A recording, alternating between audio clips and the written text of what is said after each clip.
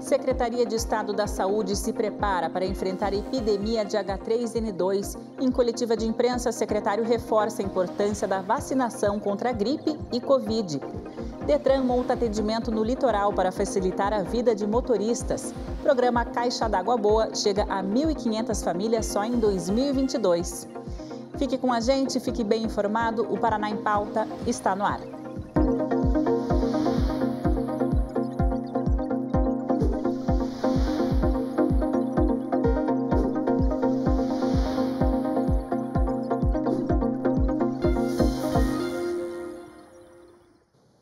Boa noite para você. Em uma coletiva de imprensa, o secretário de Saúde do Paraná, Beto Preto, falou hoje sobre a situação da pandemia do coronavírus no estado e também da gripe H3N2. A repórter Elaine Nunes acompanhou a coletiva e está aqui com a gente. Elaine, quais são as notícias? Oi, Guida. O primeiro caso da variante Omicron foi confirmado oficialmente aqui no Paraná em um morador de Curitiba do sexo masculino de 24 anos. Ele foi diagnosticado com Covid no dia 18 de dezembro. Esse exame foi levado ao, à Fiocruz, ao laboratório da Fiocruz, que fez o sequenciamento genômico e enviou o resultado hoje pela manhã à Secretaria de Saúde. Apesar desse, dessa confirmação oficial só acontecer agora, a Secretaria acredita que a nova variante já estava circulando aqui no estado por causa da situação de contágio. Mas graças à, vacinação já avançada aqui no estado, o número de internações é pequeno em relação ao número de diagnósticos. A maioria das pessoas tem apresentado sintomas leves da doença. Veja o que disse o secretário. As características da variante Ômicron estão ali também no, no telão. É, altamente transmissível, duas ou três vezes mais transmissível que a que a variante Delta, o que equivale aí a dizer que ela é muito semelhante à transmissão do vírus sarampo e aparentemente até agora menos grave do que do que outros outros contextos e outras ondas de covid que nós tivemos. Porém, é importante frisar, tudo isso nesse momento se deve, e os especialistas têm dito, têm dito isso, se deve principalmente ao fato da grande cobertura vacinal que nós temos até agora no Paraná e no Brasil, mas no Paraná também. Isso é importante frisar porque os quadros têm sido leves.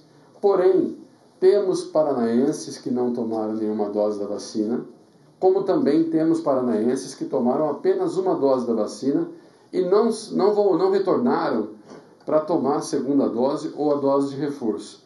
A vacina é o nosso salvo-conduto.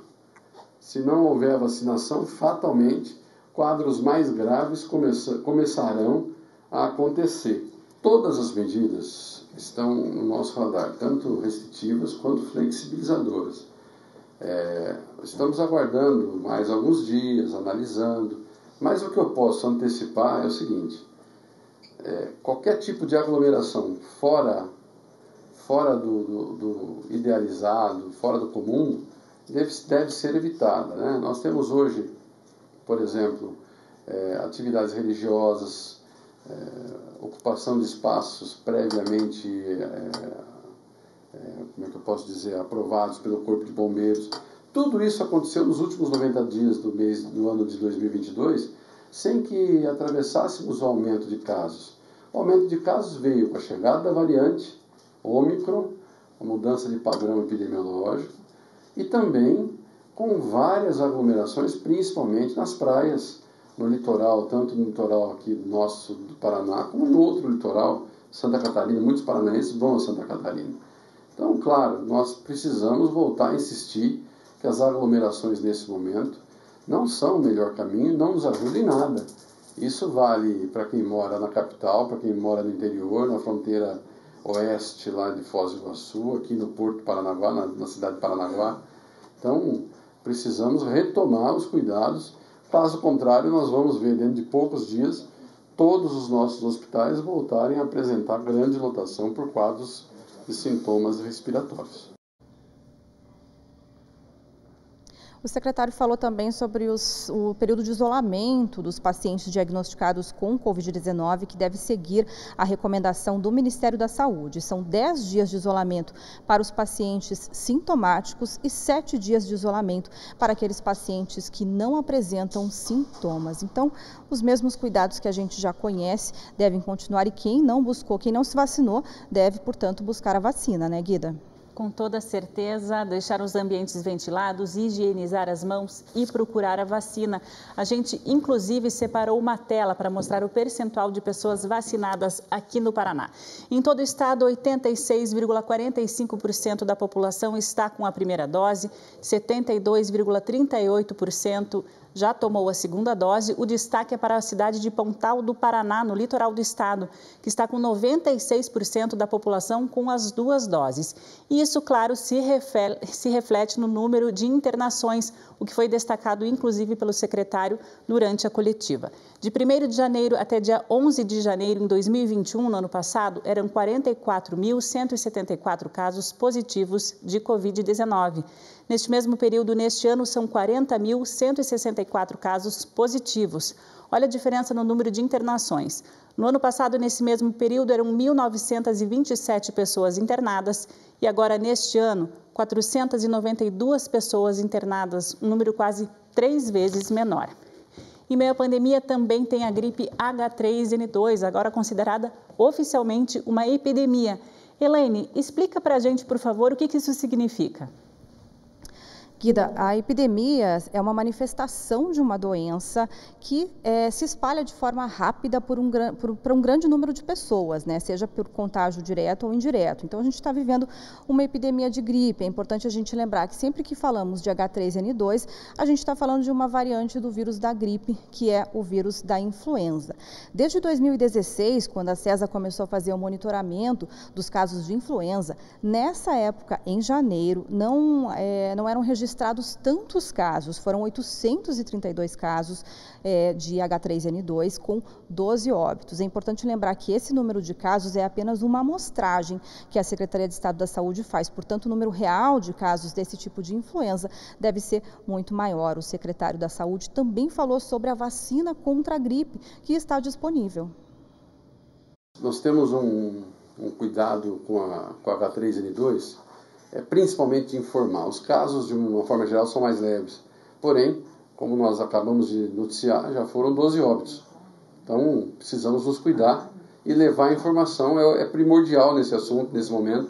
Informar que temos, além do Covid e de uma nova variante do Covid, temos também H3N2 em caráter de epidemia nesse momento, alastrado por todo o Paraná, são 144 municípios já com casos confirmados em 399 Além disso, é importante frisar que temos muito mais casos do que esses 832, porque esses nós captamos na rede Sentinela.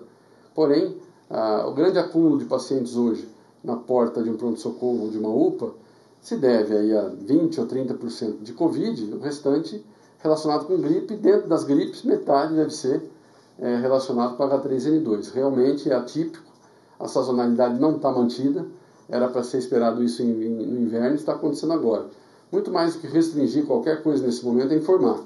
Segundo ponto, é, a Secretaria Municipal de Saúde de Curitiba, e a doutora Beatriz pode falar nisso também, colocou pontos de vacinação da, da própria vacina da, da gripe no seu estoque que já era existente, colocou à disposição para também a população geral de Curitiba que quisesse vacinar, e também está no esforço aí do, do próprio Secretaria de Estado de fazer a vacinação acontecer. Lembrando que, inclusive, o Ministério da Saúde liberou que a vacinação do Covid da gripe pode até acontecer no mesmo dia.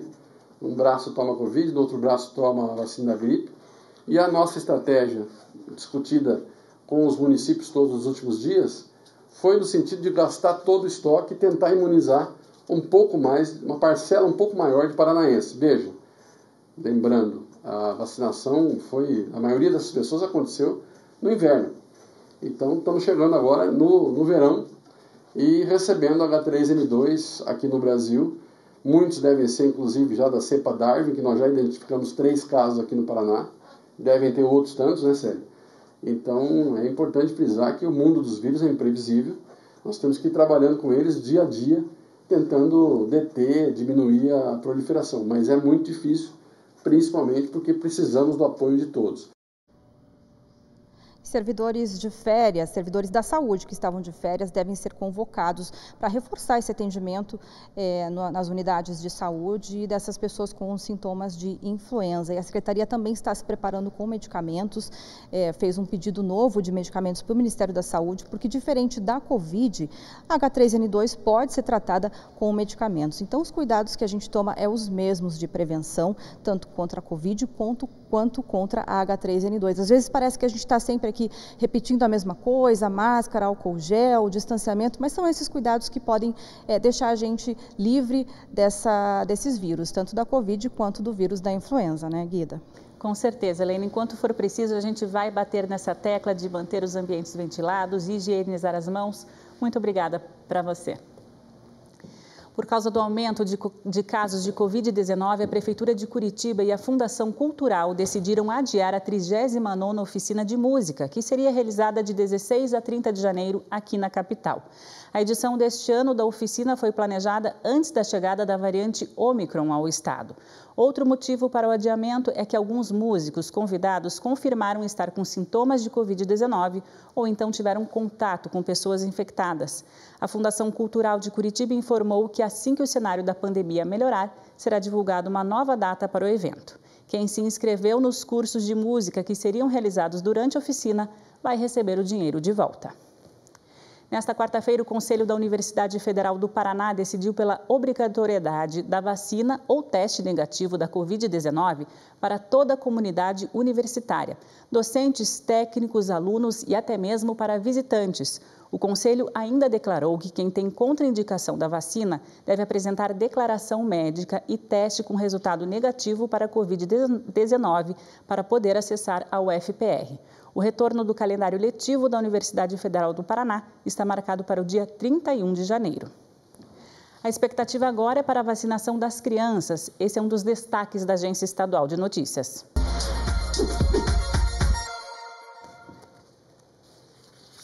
Profissionais de saúde recebem capacitação para aplicação de vacina contra a Covid-19 em crianças de 5 a 11 anos. A formação foi feita de maneira online pelo Programa Nacional de Imunizações, em conjunto com os laboratórios Pfizer e BioNTech. Profissionais da saúde estadual, da Secretaria Estadual da Saúde e também dos municípios receberam orientações sobre o imunizante, desde a logística de distribuição, armazenagem até a correta aplicação da vacina. A previsão é de que mais de 1 milhão e 75 mil crianças de 5 a 11 anos sejam vacinadas no Paraná. No site da Agência Estadual de Notícias você confere todas as informações. Iniciativas elaboradas pelo Detran durante a Operação Verão Viva a Vida pretendem facilitar a vida de turistas que vão ao litoral e precisam de algum tipo de serviço. Tendas montadas nas praias prometem reduzir o tempo de atendimento e tirar dúvidas de motoristas. Quem viaja para o litoral pode contar agora com tendas como esta, em Caiobá, onde diversos serviços são oferecidos para os motoristas que não tiveram tempo de resolver pendências antes das férias. O Detran disponibilizou três pontos de atendimento: um na Orla de Guaratuba, outro na Orla de Caiobá, em Matinhos, e um terceiro, móvel, em Pontal do Paraná. Nos três locais, as pessoas podem ter orientações sobre o novo portal do Detran, tirar dúvidas sobre habilitação em veículos, esclarecer dúvidas sobre a nova CNH digital e licenciamento. Os serviços oferecidos são serviços onde o cliente o usuário, ele pode imediatamente ter esse serviço finalizado, como renovação, como alteração de endereço dentro da mesma cidade. É, também ele pode é, além disso tudo, também fazer agendamento para uma clínica. Nós colocamos uma clínica atuando durante agora o mês de janeiro para que aqueles que vierem renovar possam também ser atendidos por essa clínica. E quem precisa de atendimento conta com o apoio de profissionais prontos para auxiliar. Cada um tem um motivo diferente para procurar ajuda. Eu fiz a transferência de um, um veículo de São Mateus para aqui para Matinhos eu vim atrás do documento, ver como é que faz, que eu não estou com o documento de transferência totalmente. Né? Aí eu estou esperando a, a, consulta porque que me, me encaminha. Eu vim aqui por causa que eu perdi minha carteira, né?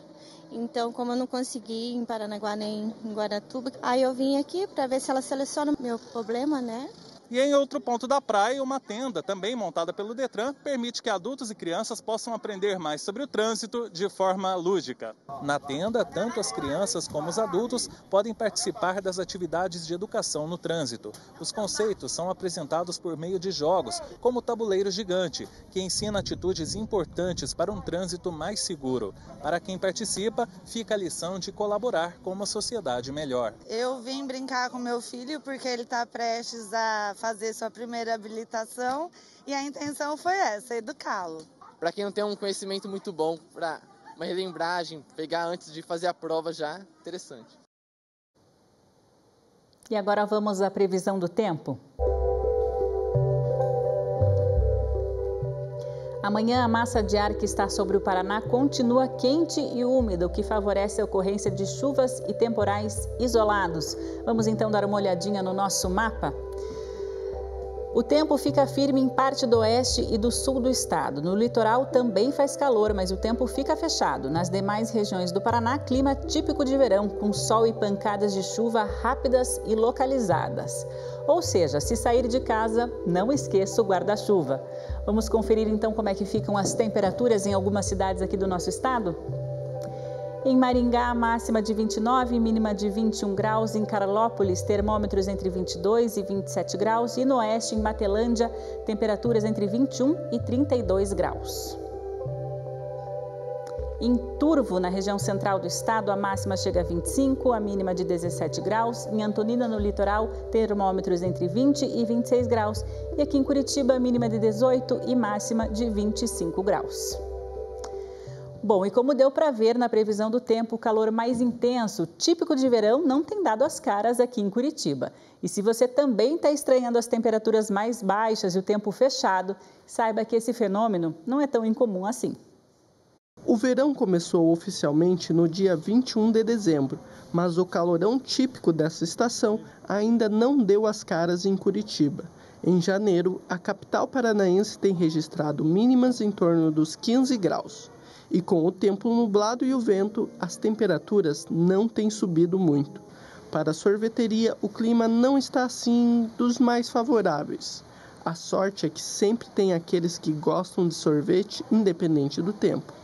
E o friozinho, já característico de Curitiba, mas em pleno verão, tem dado o que falar. Eu não sabia que estava tão frio assim. Vou ter que sair e comprar alguma coisa para poder aguentar. Olha, é atípico, né? Mas Curitiba tudo é esperado, porque Curitiba, que eu sei, é, faz as quatro estações do ano num dia. Esses dias mesmo eu fui pra praia, nossa, um calor que senhor amado. Agora tá tendo que usar jaqueta, tá tendo frio, tá tendo chuva. Ah, tô achando estranho, né? Mudou muito, né? Antigamente inverno era inverno, verão era verão. Agora mudou, mudou. Eu tô achando isso um mistério. Por que, que Curitiba, no mês de janeiro, que sempre foi calor, o pessoal vai para a praia e agora nós não estamos tendo isso. Sabe aquela conversa de elevador, se está quente, se está frio, como é que está o clima? Então, essa conversa ficou ainda mais longa, porque está difícil explicar essas baixas temperaturas. Mas esse fenômeno tem um motivo. Assim como a gente tem no, no, no inverno, uma analogia com o inverno, nós temos o veranico, né, que é aquele período seco e quente, acontece no inverno. Nós também podemos ter o, um pequeno inverno, vamos dizer assim, uh, uh, ao longo do verão. Né?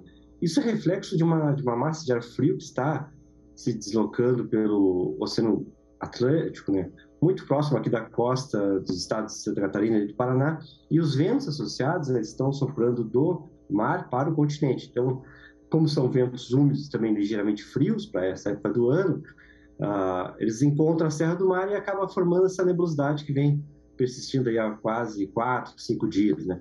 O, o reflexo ele acaba sendo nas temperaturas máximas. Né? Nós, a, a, média das máximas uh, para a região metropolitana uh, em anos normais é em torno de 27 graus Celsius. Né? Nós estamos aí nos últimos quatro, cinco dias em torno de 21 a 22 graus. Então realmente está 5, 6 graus abaixo do comportamento normal. Mas calma, o verão está para chegar e ganha força a partir do próximo final de semana. Como vai aquecer um pouco mais, a gente pode ter o retorno de algumas chuvas de verão, aquelas chuvas da tarde, né? Sol aparece, aquece, está úmido, chove à tarde. Mas a tendência também é as temperaturas começarem a se elevar uh, progressivamente até o final de semana a gente deve voltar a ter um regime mais de verão mesmo, ou seja, predominante sol, tempo abafado e temperaturas aí em torno de 30 graus, até podendo passar dos 30 graus Celsius na domingo, segunda-feira. Por isso, embora o calor ainda não tenha chego com força, já é bom ir separando aquelas roupas mais leves. E claro, o protetor solar, indispensável em qualquer estação do ano. Tem mudança no secretariado do Paraná. Guto Silva deixa a Casa Civil e retoma seu mandato como deputado estadual. Quem assume a Casa Civil agora é João Carlos Ortega, que era o secretário de Estado do Desenvolvimento Urbano e de Obras Públicas. Quem assume esta secretaria agora é Agostinho Zucchi, ex-deputado estadual e ex-prefeito de Pato Branco. Vamos de novo dar uma olhada na Agência Estadual de Notícias? Copel orienta agricultores sobre a prevenção de acidentes na colheita e no plantio.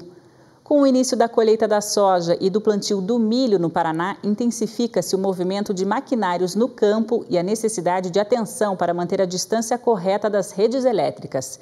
Em 2021, pouco mais da metade dos acidentes registrados com energia elétrica ocorreu em áreas rurais aqui do estado. A principal causa, segundo a Copel, tem sido a falta de atenção, já que o trabalho do agricultor é intenso nessa época, inclusive à noite. No site da Agência Estadual de Notícias você confere as dicas da Copel para evitar o choque elétrico e muitas outras informações. O projeto Caixa d'Água Boa vai atender mais de 1.500 famílias de 51 municípios do Paraná. O programa atende pessoas em situação de vulnerabilidade e, por meio de uma parceria da Sanepar e da Secretaria de Estado da Justiça, Família e do Trabalho, nós vamos agora entender como isso funciona com a repórter Marilena Sociai, que está aqui com a gente. Mari, boa noite. Explica para gente como é que ele funciona.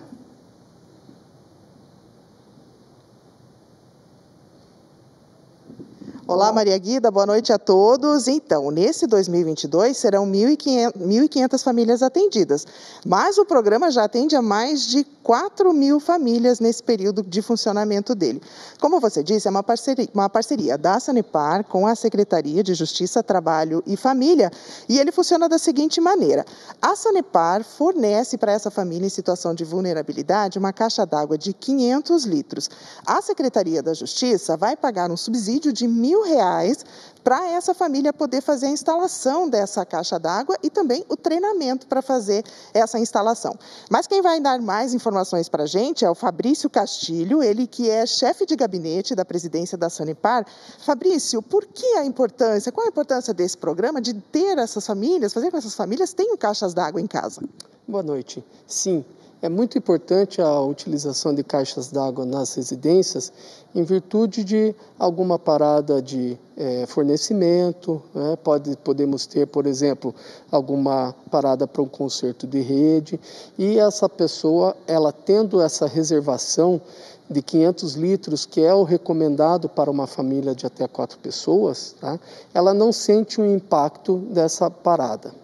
E quais são os critérios para que essas famílias se encaixem nesse programa? Certo. Essas famílias elas já foram selecionadas pela Sejuf e os critérios foram a questão de estar cadastrado no CAD único, ter uma renda familiar até meio salário mínimo, tá? E ser um, é, uma família que é, seja atendida pela Sanepar. Agora que a gente está vivendo aqui em Curitiba uma situação de rodízio de água, por exemplo, tem alguma é, situação especial para os moradores aqui de Curitiba em relação a esse programa de caixa d'água? Perfeito. Em Curitiba, em, em região metropolitana, em virtude do rodízio, por conta da escassez hídrica, é, a Sanepar, ela, em parceria com a Sejuf, ela é, elencou mais de 10 mil famílias para a instalação de caixas d'água também com o intuito de minimizar os problemas e os impactos com relação ao rodízio. E esse programa Caixa d'Água Boa está disponível para todos os municípios paranaenses ou tem alguns critérios para ser disponível? Foram selecionados 143 municípios é, em virtude do índice de vulnerabilidade dos municípios. E esse levantamento foi feito através da Sejuf obrigada pela sua participação. E olha só, é, o programa Caixa d'Água Boa da Sanepar e da Secretaria da Justiça, Família e Trabalho levou o prêmio ODS de 2021 na área do setor público. Esse prêmio é realizado pelo SESI e reconhece iniciativas voltadas para os objetivos de desenvolvimento sustentável aqui do Paraná. Voltamos com você, Maria Guida. Que legal, parabéns a eles pelo prêmio. Muito obrigada, Marilena. E hoje a gente fica por aqui. Siga também as nossas redes sociais. Lá você pode rever as matérias, os programas, baixar e compartilhar os nossos conteúdos, além de, claro, dar sugestões. E pelo QR Code que aparece aí na tela, você ainda pode conferir o canal da TV no YouTube. Boa noite, fiquem bem, até amanhã. Tchau!